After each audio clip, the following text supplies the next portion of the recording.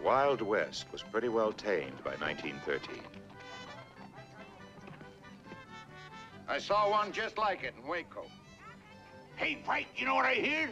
I hear they take out one of those things up north that can fly. Ah, that was a balloon, you damned old fool. No, the old man's right. They got motors, wings, go 60 miles in less than an hour. Driven to the border by the irresistible thrust of civilization were the remnants of the breed that had made the West wild.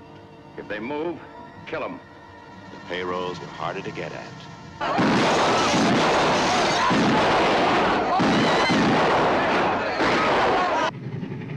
The Army rode the railroad now.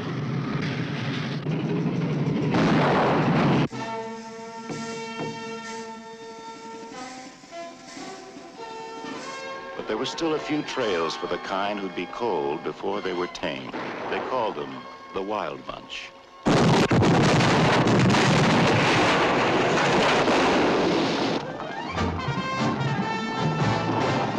Pike had been a gentleman of principle.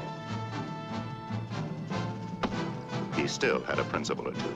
We're not getting rid of anybody. We're gonna stick together just like it used to be. When you side with a man, you stay with him, and if you can't do that, you're like some animal. You're finished. Dutch had dug for gold. He gave up digging. How many cases did you take from the train? 16 cases of rifles. We lost one on the trail. He stole it. No!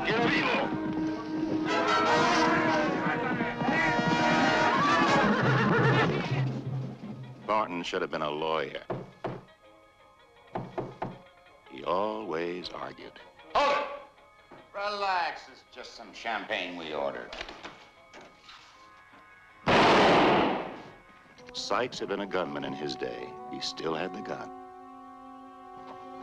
We, we, we gotta get him back. How? Gorch had been trying for years. Sometimes he almost worked up to normal. I want you to meet my fiance.